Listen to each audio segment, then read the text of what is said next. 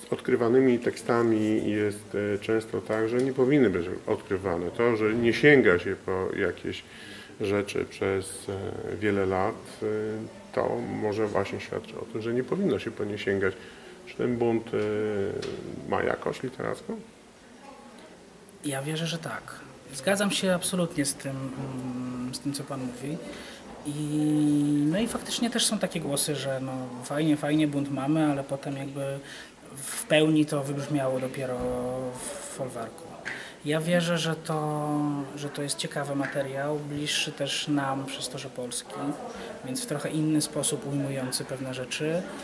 Poza tym tak mocno nie bazujący na, na konkretnej historii, tak jak jest to u Orwella, gdzie te, te, te, te przekładki są takie jeden do jeden, więc e, wydaje mi się, że absolutnie warto. No ja oczywiście jest mi jeszcze o tyle łatwiej, że, że ja odpowiadam za adaptację, więc jakby nie bierzemy starego, nie wiem, polskiego dramatu, który nigdy nie był wystawiany i który po prostu bierzemy na scenę i próbujemy się jakoś ratować, tylko no ja trochę poobcowałem z tym materiałem literackim i no i stworzyłem z, z niego jakby taki tekst na scenie, na scenach, który mi odpowiada.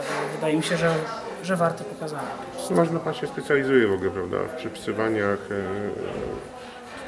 dramatopisarzem i dramaturgiem, to często jest e, mylone. Takie bardzo pierwsze pytanie, tak jeszcze byliśmy na próbie medialnej, tutaj ja założyłem deziluzję, techniczni podają w e, chorągwie, to od razu jakby rozkłada nam świat sceniczny, tak ma być? Tak, Że tak, to jest tak, wzięte tak. w nawias?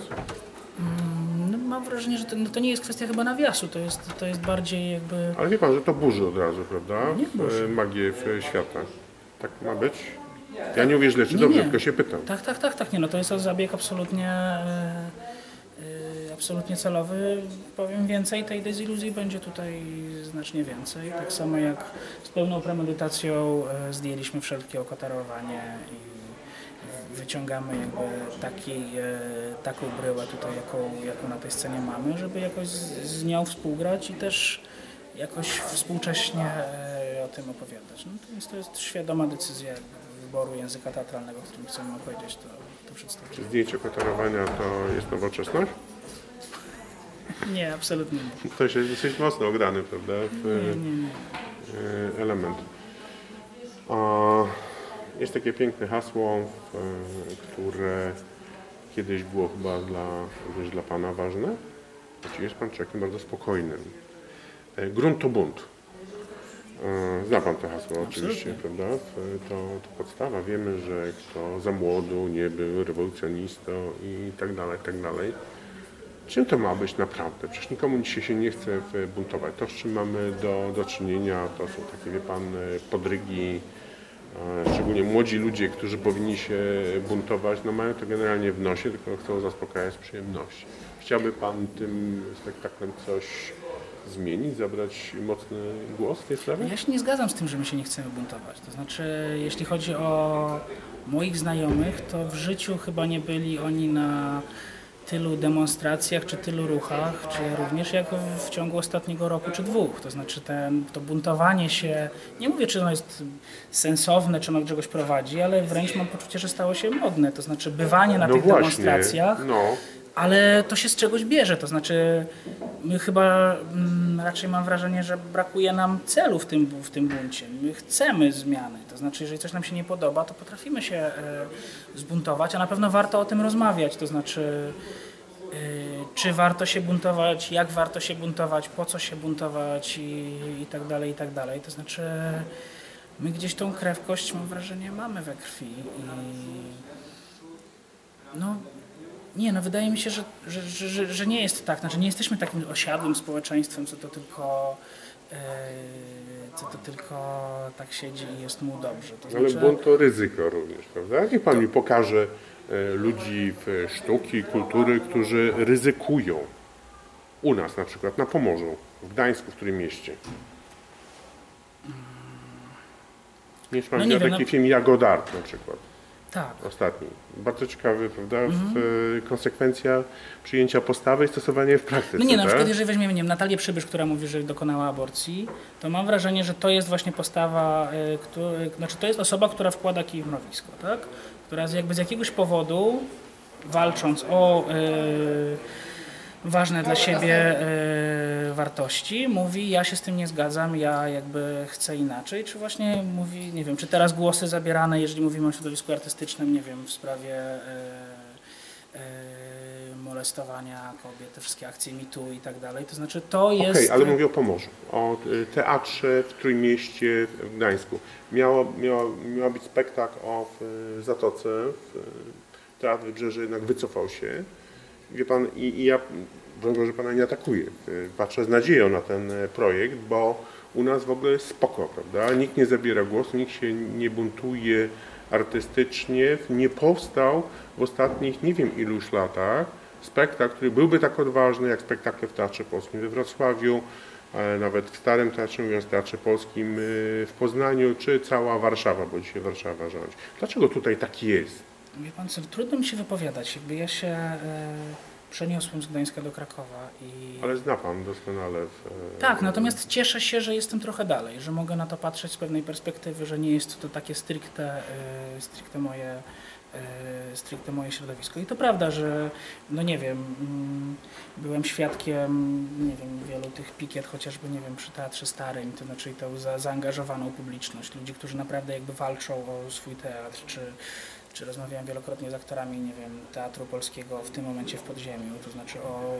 ich sytuacji i tak dalej. Ale wie Pan, teraz- przepraszam, że wchodzę słowo. To był Teatr Powszechny w Warszawie, teatr, który się wtrąca, który i tworzy w ogóle chyba najbardziej opresyjną sytuację w tej chwili w polskim teatrze, bo od, od grudnia, w, e, żeby wejść na spektakl, jest się w e, przeszukiwanym Tak, tak, e, tak, i, tak. i są ochroniarze po obu stronach. To taka trudna w ogóle sytuacja, No, dlatego, no, ale chodzi o to, to że u nas, zabieg, w Gdańsku, jakby- tak, w Gdańsku, miasto wolności, tralalala i tak dalej, i tak dalej, w ogóle nie powstaje odważny, zbuntowany teatr. Dlaczego?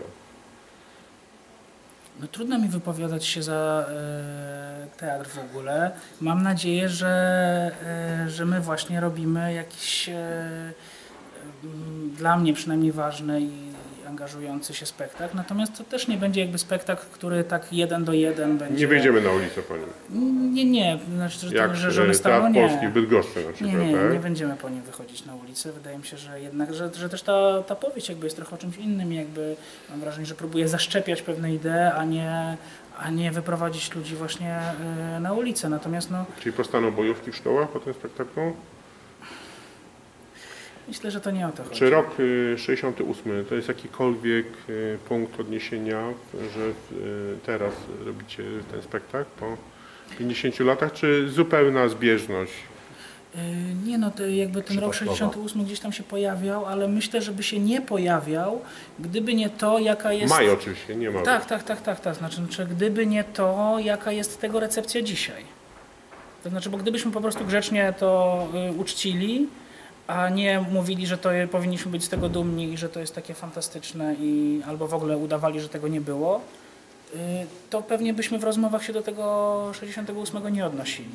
Natomiast ta sytuacja, którą, y, czy to, to, to patrzenie na, y, nie wiem, politykę historyczną dzisiaj, czy, czy odnoszenie się do różnych wydarzeń, no skłania do buntu. To znaczy nawet takiego kalekiego albo odrobinę piknikowego, no ale jest coś takiego, to znaczy zaraz będziemy mieli kolejny czarny protest i ja, nie wiem, również byłem na czarnym proteście i absolutnie to wspieram, to znaczy mam wrażenie, że to, że nagle, no bo y, nie wiem, kobiety wychodzą i mówią nie, to jest bardzo ważne. To znaczy ta, ten ruch obywatelskiego nieposłuszeństwa bardzo długo był wyciszony, prawie go, prawie go nie było. A Gdzieś- dlaczego? Wie pan, bo tutaj dochodzimy do takich y, bardzo y, zaskakujących y, mm, wniosków. Przecież do o- 2015 niby było spoko, w cudzysłowie nasi rządzili, nie trzeba było się buntować, nie trzeba było stosować pikiet, wszystko było cace.